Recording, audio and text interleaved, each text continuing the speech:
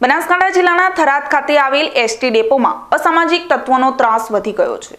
તેમજ એસટી ડેપોમાં ખિસ્સા કાતરુઓ સક્રિય બનતા એક જ દિવસમાં ત્રણ મુસાફરોના ખિસ્સા કપાયા હોવાનો મામલો સામે આવ્યો છે.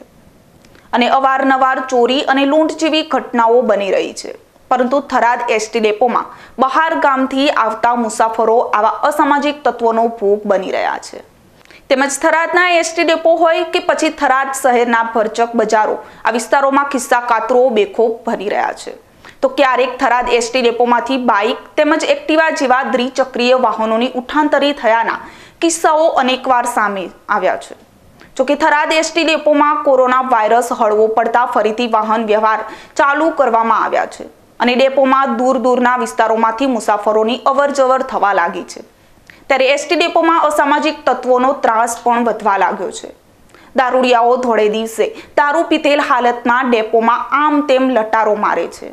અને વળી હમણાં ખિસ્સા કાતરો પણ આ ત્રાસ વધવા લાગ્યો છે. જેમાં આજે અગિયાર વાગ્યાના આસપાસ થરાદ માંડવીવાળી બસમાં મુસાફરો બસમાં ચડી રહ્યા હતા તે દરમિયાન. કોઈ અજાણ્યા ઈસમોએ એક મુસાફરનો ખિસ્સો કાતરીને રોકડ રકમ લઈ ફરાર થઈ ગયો હતો.